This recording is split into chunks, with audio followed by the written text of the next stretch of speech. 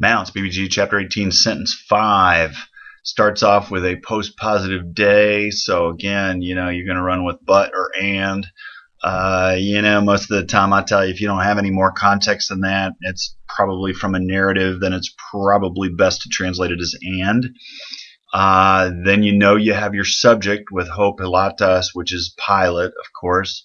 So, and Pilate, again, palin, you should know is again. Uh, he gives you the verb here, began asking, and then began asking who? Him, right?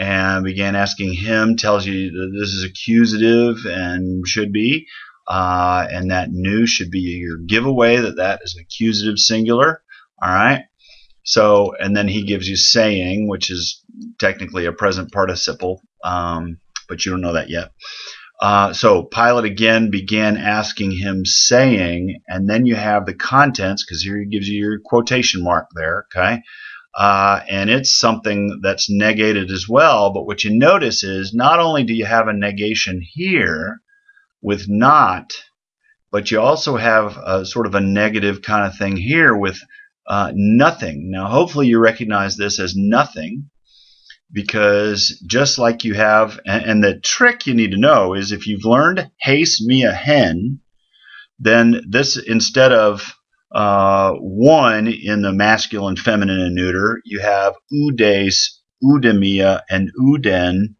You know, just like haste me a hen, you've you've basically tacked on that word for one at the end of the omicron, upsilon, delta.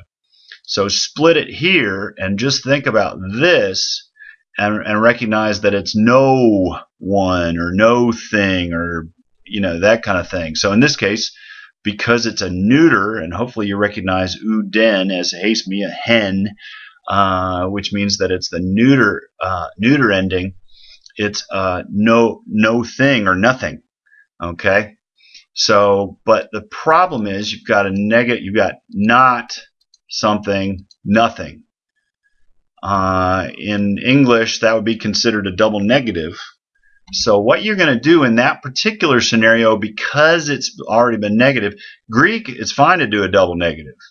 And a lot of languages today, it's fine to do a double negative. It's not in English and have it mean the same thing. So what you do is you switch that nothing to anything. Uh, and that's the way you're going to play with uden in this particular instance because it's already, you know, it's already been negated. Okay? So then you come to the verb, and hopefully you recognize that as uh, your what you would have learned is apokrinomai. And as soon as you say apokrinomai, you know that it's a deponent verb because if that's what you learned as a lexical form, it's deponent. So knowing that, it's going to have a, a, passive ending, uh, but you're going to translate it actively. And in this case, that a with an uh, eta with the iota subscript hopefully you remember, you know, my psi tie, metha s n tie, but you also know, hopefully, that the psi typically ends up looking like an eta with, you know, an iota subscript. So that's what we have here. We have that second singular, and, you know, again, it's been negated, so it's you answer, but it's do, because it's a question, and it's been negated, you're going to say, do you not answer anything? Do you not answer anything? You know, and that's really it. So, uh, and Pilate again began asking him, saying, Do you not answer anything? Because again, you can't have a double negative there.